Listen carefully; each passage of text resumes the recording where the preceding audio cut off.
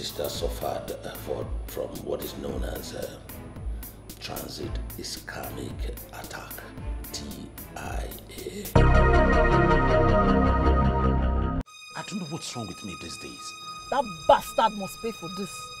Why do people always misunderstand me? A lady came for you. So her name was Lucy. They'll like, 500,000 eliminate you. Next life, in your next life, learn not to be greedy. That you didn't even respect the fact that I was there. When I spoke to you like a brother, but still, what did you do? You chose to walk out on me. Why shouldn't I walk out? Why shouldn't I?